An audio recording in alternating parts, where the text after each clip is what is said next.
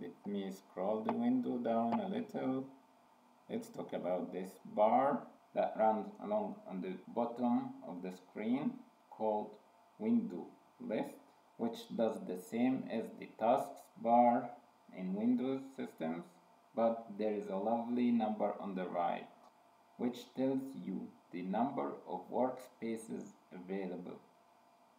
This means some different separate desktop screens. I love that one. I can open workspace number one. Let me click on it. By default, workspace number one is selected. I can open a terminal here. I can select a different desktop, open my home directory, Select the third one, open a different application and so on, for example email. This is useful for users to do separate tasks and organize their work. By the way, there are three methods to switch between workspaces.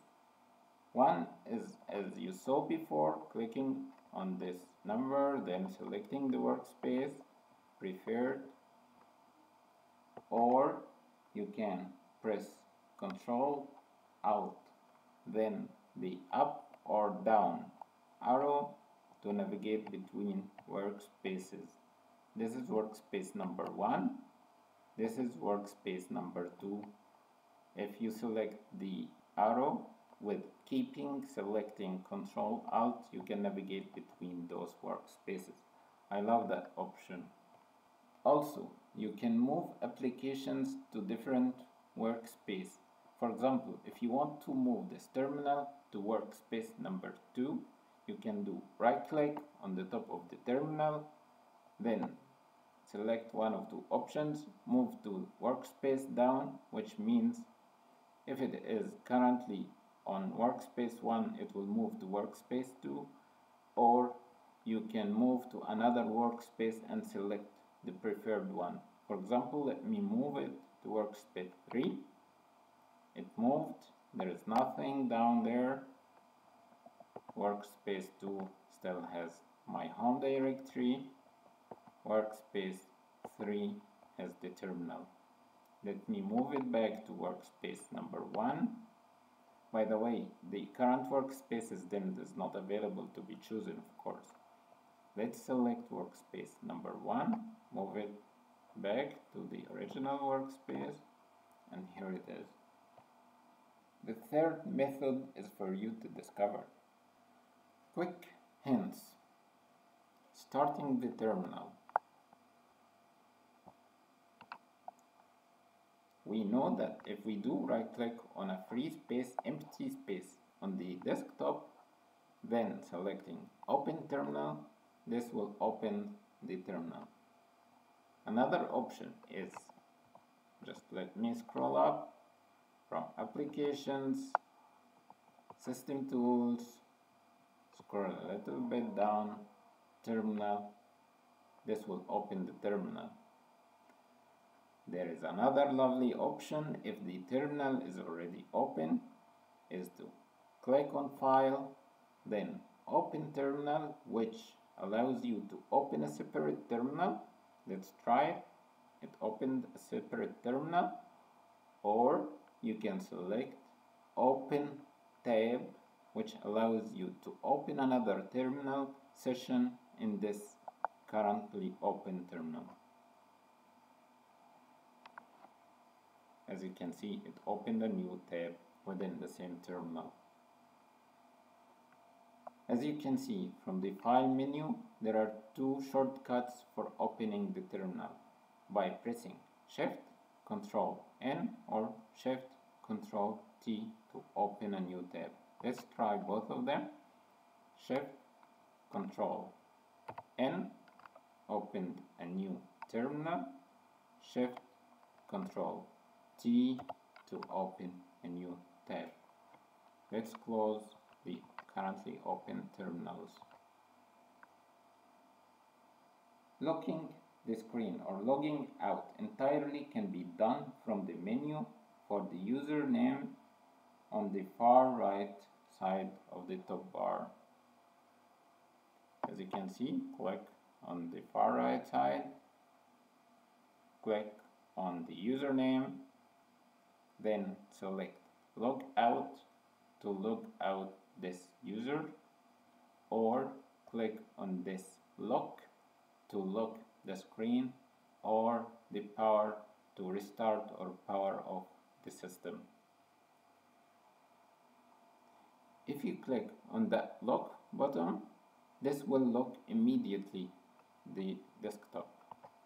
As you can see, it is immediately locked. To unlock your system, you can press enter. This will start asking you for the password. Let me click escape or cancel. You can also try the space from the keyboard. It will do the same. Move the curtains up. Then you can enter the password to unlock the system.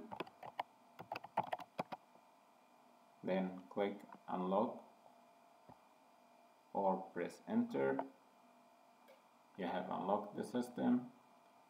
If you want to power off or restart you can click again here then click on the power. System will be powered off automatically in 60 seconds. You can click cancel or click restart to restart immediately or power off to power off immediately and do not wait for this automatic countdown. Let me cancel let's try log out click on the username try log out. Again the countdown is here. Let's try log out. Let's now switch the theme by clicking here to the modern one. Type the password sign in or enter. As you can see the menus has been differed the activities where you can search for the thing you want to open or start for example terminal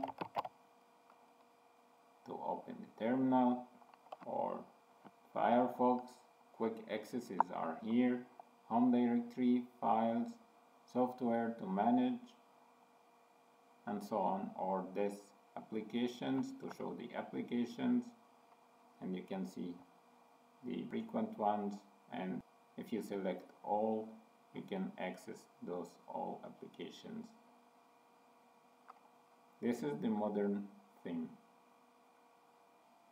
To power off or reboot your system, you can click on the top right corner then select power power off or restart or you can press Ctrl alt delete to do the same on the physical system. For VMware workstation Ctrl alt delete is secured so instead you can try Control Alt insert it will do the same but this is just for VMware workstation. For the physical setups it is control alt delete. This was a quick check to the GNOME desktop or the GUI for Linux system. We will not talk about it so much in those capsules and we will just focus on the command line interface. Do not forget the following. Do not subscribe, like, share or comment if you want to stop this video by you and if you do not like to spread the knowledge among others that might need it. Please do subscribe, like, share and comment if you are not that person. Thank you and have a great day, Linux lovers. See you soon.